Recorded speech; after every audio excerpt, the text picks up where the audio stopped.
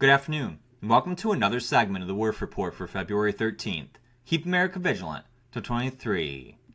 Sinister coup. An organization called the Transition Integrity Project published a document in August of 2020 warning that President Trump would, quote, likely contest the result of the 2020 election and that Trump might be willing to go to, quote, extreme lengths to stay in power, outlining an entire plan on how to ensure Biden took over, well before any American casted a vote. Several more objects were shot down over the U.S. this weekend in a bizarre string of events.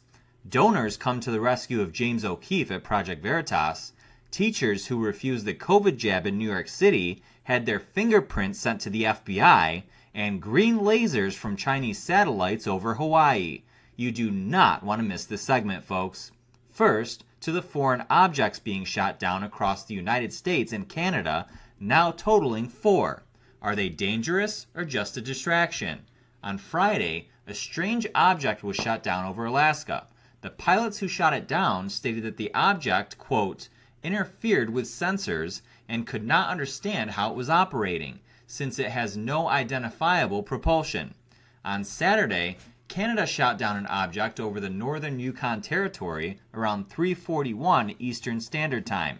Canada's defense minister said the object was cylindrical in shape and was flying at about 40,000 feet, which poses a risk to civilian air traffic.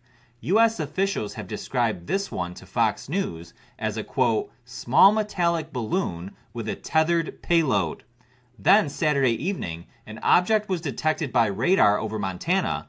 However, military jets could not find it after searching for it. Then, yesterday afternoon, the United States used an F 16 fighter jet to shoot down another object over Lake Huron, which was reportedly, quote, shaped like an octagon and was flying at about 20,000 feet. It was reportedly the same object detected over Montana that they couldn't find.